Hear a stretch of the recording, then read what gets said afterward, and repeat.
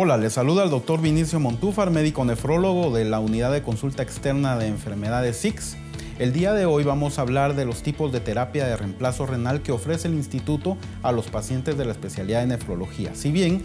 en los últimos años hemos visto que ha aumentado la cantidad de casos de enfermedad renal crónica en el país,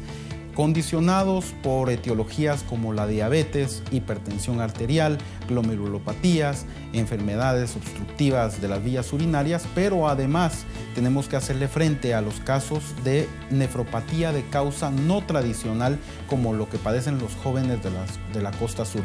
En este caso estamos ofreciendo terapias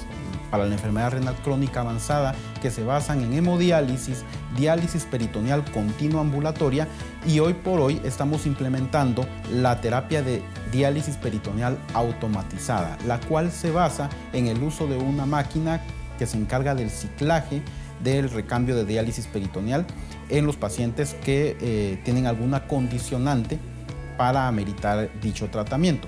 La diálisis peritoneal automatizada se basa en darle al paciente una máquina que se encargue de hacer el ciclaje del lavado peritoneal en horas sueño, lo cual evita que se interrumpa su jornada laboral y lo cual también es ventajoso para reinsertar a un paciente a la vida laboral. También se destina a pacientes jubilados o pensionados que tengan alguna condicionante anatómica como hernias abdominales, alteraciones de la columna vertebral, que tengan un tipo de membrana peritoneal que los condiciona a ser transportadores rápidos o que tengan función renal residual considerable, entiéndase como la capacidad de orinar. Si bien este tipo de, tratamiento es eh, nuevo, está arrancando en,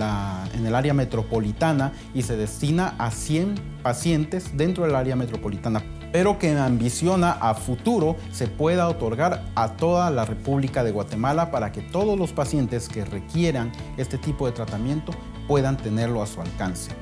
Entonces, hoy por hoy nos estamos adaptando conforme el, el requerimiento de nuestros afiliados con enfermedad renal crónica lo dicte el Seguro Social está ofreciendo terapias innovadoras, terapias nuevas, terapias que cada vez se